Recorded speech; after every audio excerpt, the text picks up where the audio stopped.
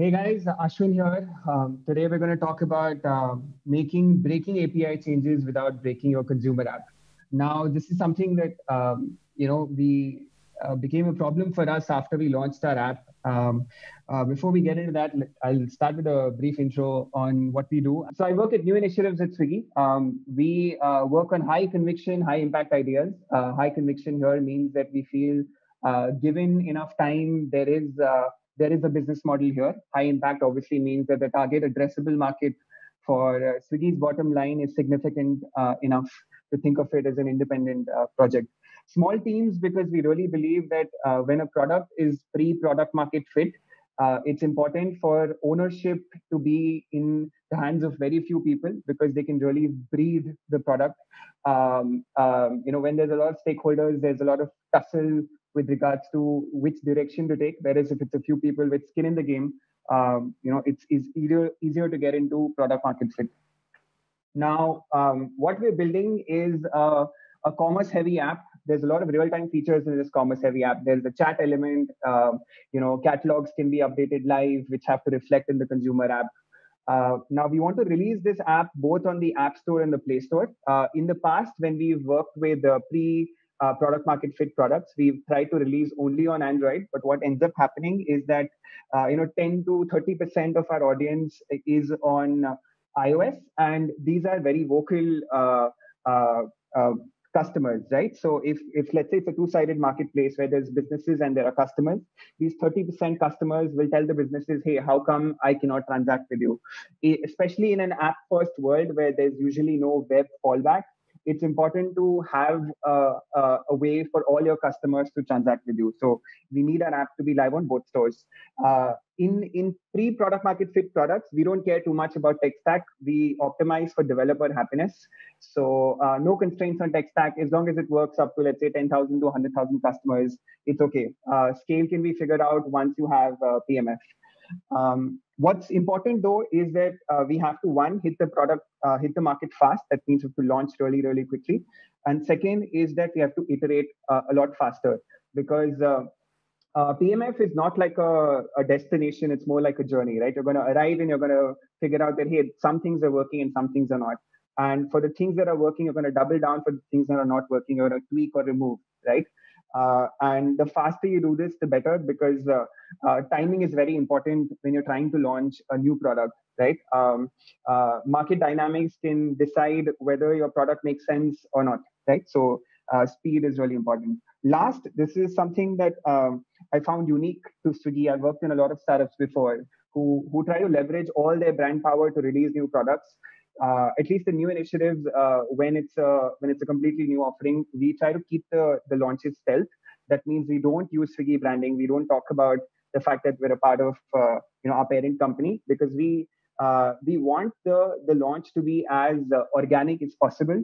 So um, that means that it's it's as if two or three you know uh, kids out of college wanted to make a new product. They released an app um, and try to get organic results. We also don't do much marketing if at all right? Because organic is the best way to hit pmf now our tech stack is very simple. We use hasura as the core. Uh, that's our postgres uh, uh, database. Uh, our app connects directly to hasura our app is coded in flutter uh, which uh, goes live on the app store and the play store.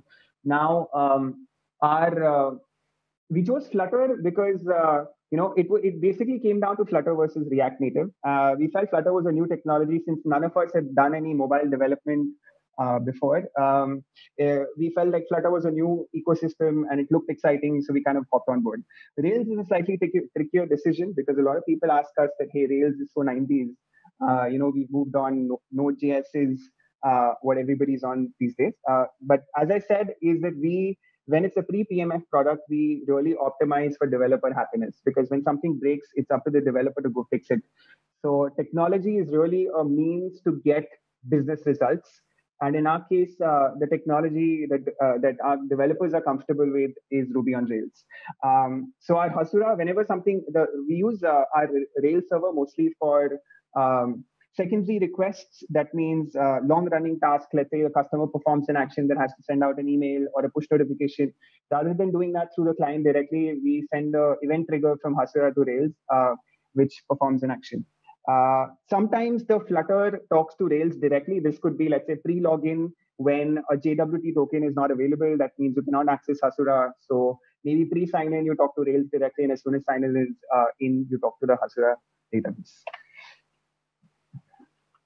Um, now we launched our product somewhere in mid-April. It took us two weeks to go from you know let's do this to there's an app live on the Play Store. In fact, the, the longest part of those uh, two weeks was waiting for five days for Play Store to approve our app. Right? We iterated really really fast and we doubled down on what was working. Uh, we got some early traction. We got a couple thousand users and you know for a new product with no branding that was really uh, you know exciting for us and uh, that's when we got our first business inputs saying that uh, the checkout experience that we built, because it's an e-commerce app, right, uh, was very confusing for users. There was a lot of uncertainty in their minds whether the order was placed or not. Now we had to tweak this checkout experience, but um, that's when we, re, you know, ran a query on, hey, what versions are our users on? Are they updating the app? Because we, since release, we'd already done about 30 updates.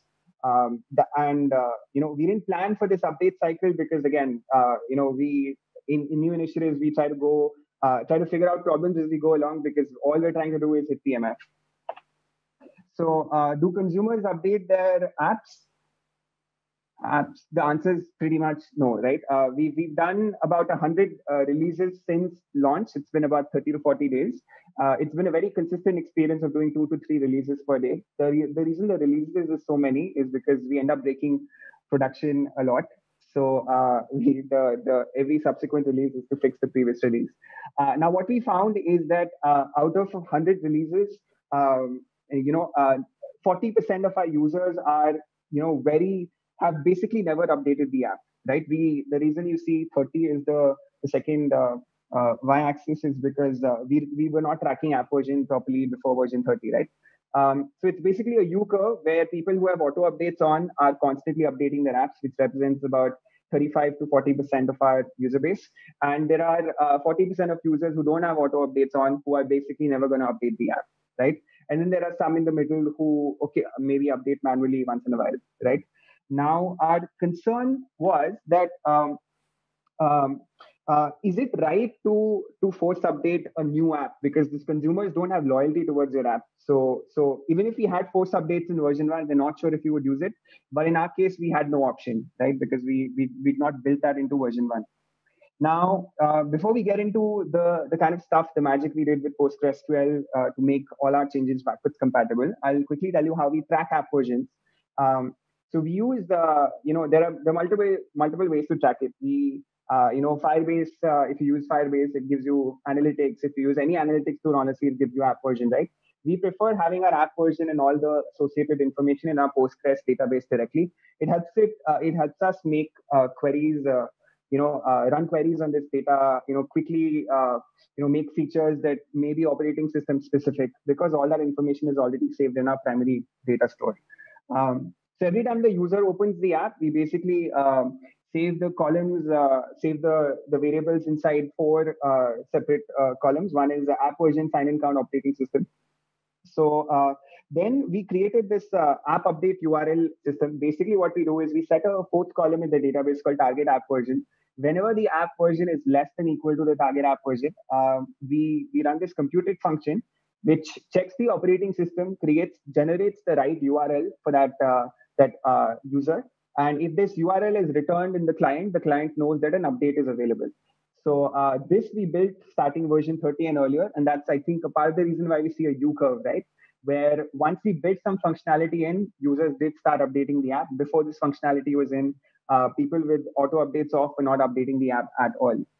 Um, now get into the crux of the, the talk, right? Uh, how do we make changes to our API without breaking the consumer app? Uh, in our case, we know for a fact that 40% of our users are not going to update the app. Uh, and uh, we're not even sure if we want them to, uh, you know, force them to update the app because that may just make them leave the platform, right?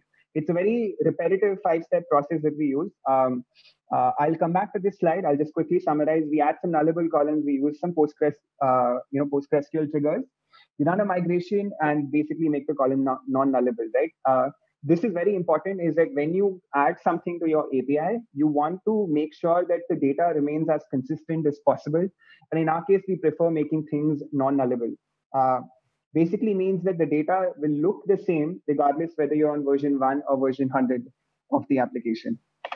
Starting with the first example, this is a classic e-commerce example, right? Um, where after you place an order on an item, you want the um, the name and price of the item to be cached uh, because it's possible uh, to, uh, you know, if the item name and price changes in the future, it should not affect uh, previous um, uh, order items, right? So in our case, we did not allow editing of items in version one. Um, so when we did add it in version 30, uh, our future versions were working fine, but for previous versions, we, as a, as in the five-step process I listed, we made a uh, nullable column, right? We then we wrote a PostgreSQL trigger saying that hey, before insert, if the name is empty, uh, find the name from the list item and add it, right? Same with the price. If the price is empty, then find it from the list item and add it, right? Then uh, we ran, now what this means is that every subsequent entry is getting the right data. Now we just have to fix all the entries that have already been made. So we used our uh, Rails Active Record ORM to basically run a one-time query saying that all the order items which don't have a price or name um, you know should have should be uh, we should update their uh, name and price right so uh, what this means is that after this is done uh, all our order items have a name and a price so we can go to the hasura database and make that co- column non-nullable and we know for a fact that both for our uh, existing users and for our new users the data looks consistent this helps a lot with like you know things like making reports especially if it's a two-sided application it could be that the business has updated the app but the consumer has not so this uh, really solves for that.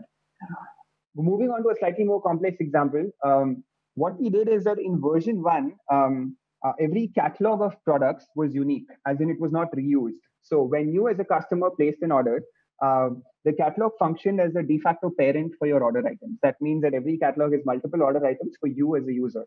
That means you cannot order the same order item multiple times. You just can increase the quantity or decrease the quantity. So in version 30, we introduced the system of orders per catalog. That means that you could uh, order the same item from the same catalog twice. Now, again, for our new users, this was completely okay because we updated the API in the app to you know function with this. But for the old users, we had to write, we had to go through that five-step process again, where we said that hey, whenever an order item is inserted into the database, uh, we want to check if the order ID is null, and if it is null, then we need to find the the catalog which with uh, with which it was associated. Uh, if there is an order already for that catalog, then use it. If not, create one. This basically means that again, the data looks consistent across both old users and new users. Um, uh, I've not uh, copied the migration script, but again, very similar, uh, basically a Rails version of um, this query saying that for all previous order items, we need to either assign or create an order. Um, so again, it's a very repeatable five-step process. You add a nullable column first. Um, now this nullable column needs uh, prospective values. So you write a before insert trigger. So every new entry that's coming into this Postgres, uh, PostgreSQL database um, is having its value set correctly. Uh, then you run a migration so that all previous columns, uh, all previous rows have this value set. And last, most important is you make this column non-nullable, right? This ensures that the data now looks consistent um, everywhere. Um, uh, and what we do is that every new version, of course, um, does not require this SQL. So we, that's why we write, uh, you know, having the value is null is when the trigger should run. Um, there's a bonus panel. This was a very unique issue we faced with upserts. So when we released version one, uh, adding an item to your cart was essentially uh, sending an upsert query to the database saying that if an order item already exists, you increase the quantity by one. Um, uh, if the item does not exist, then uh, you insert a insert a row into order items. Uh, this obviously changed in version 30 when we introduced the concept of orders. Right, uh, we were no longer editing previous order items. So when we when we changed this uniqueness constraint, uh, we, we, removed this uniqueness constraint, our consumer app started stopped working because this uh, this constraint was no longer there. That means the the mutation was breaking. Um, so we did something tricky is where we made a new index because that's what happens when you create a uniqueness constraint in Hasura, right? It creates an index in the back. So we made a new index that also took into account the order ID. Um, we uh, that generated another index with a different name. We we went into the SQL and basically changed the name of the new constraint, the new index, to the to match the same index that was in the code base, right? Um, this means that uh, when uh, an old user uh, uh would press plus uh, next to an item, it would first do that order trigger, which would make sure that then order is being set. And then it would run this uniqueness constraint, which would also make sure that the item is being incremented by one. Um, so this took us uh, trial and error because we did break the consumer app uh, at least uh, uh, twice because of this, because we're not able to figure out, hey, why is our, um, you know, why the orders stopped? Now, the major takeaways, right, of this uh, this whole experience has been, uh, if possible, right, build update incentives, you know, whatever banners you want, whatever strategy you have, force updates into version one, right? It's a no regrets decision. Um, you're not gonna even if you choose not to use it right? Because in our case we're not sure if we wanted to use it. Um, uh, it, it at least gives you the choice that hey tomorrow if something substantial changes especially if you're a pre-product market fit product you have the option to to update your existing users you may lose some but at least you have the option um, non nullability is your friend um, because uh, we we try doing these uh, breaking changes by leaving fields blank. But what that would do is that it would hide errors in our new application as well. It could be that for whatever reason an insert or something fails, but because non nullability uh, was not enforced, uh, the columns would remain blank. Um, so really, if possible, try to make all your co- columns which are important for things like reports non-nullable. Um, we found that Postgres triggers are actually really, really fast, uh, even if they uh, mean that you're joining multiple tables together. And in our case, we have a lot of GraphQL subscriptions running through Hasura, right? Uh, and many of these subscriptions use columns or computed functions that are running through Postgres triggers. And uh, we did not uh, see any significant decrease in performance because of these triggers. So um, um, Postgres triggers are fast enough even for real-time use cases. We really should use them liberally. Um, uh, la- second is uh, uh, the next thing is uh, it, this is my preference is don't leave legacy code in the, the in the code base, right? Um, uh, what we did early on is that you know when we would make a breaking API change, we would leave comments or we would leave the old code in the system so that the new developer would know, uh, you know, that we moved from this old system to this new system. But honestly, uh, that created more problems than it solved because the developer would get confused about what the current API is. So, in my opinion, just get rid of all the dead code in your system. Keep it current at all times. You have source code control, which is a very, very mature ecosystem. You can always go back and check, uh, you know, what you changed. And I think the the summary, the most important point for today is that uh, you know you need to balance today versus tomorrow. Uh, most products, even for us, uh, you know, despite all our uh, findings, is that most products fail because they don't achieve the product market the product market fit. That can be because of a dozen of you know reasons. You could be bad timing could be your product was not right could be the you know uh, in very rare cases have we found that technology is the reason why a product does not work. So while you do need to think about update strategies and you know how you're going to make sure that your version 1 survives until version 1000 you have to say uh, optimize for the now the 80% um, so so when you when you build products uh, uh, know exactly why you're building them because that there's always usually a business purpose behind why you're doing something. And i would spend 80% of my time at least if not more thinking about hey how are we going to create that buzz around our consumer product? How are we going to get our first you know 1000 10000 100000 users uh, and solve for tomorrow later in in very few cases i think uh, it's not possible to you know uh, make some magic happen uh, and uh, solve for your you know lack of you know, whatever whatever mistakes you made in version one of your product. Uh, I think that's about uh, it from my side. If you have any questions, feel free to email me at uh, ashwin.goel at swiggy.in. I love talking about Postgres, love talking about Hasura. Uh, although I've uh, you know not been coding too much lately, stuff like this really gets me uh, going. Uh, so thanks, guys.